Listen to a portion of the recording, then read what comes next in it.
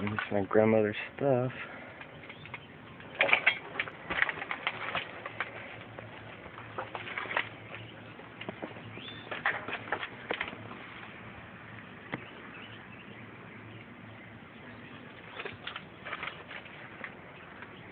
And this is the fireplace. Still stuff on the wall.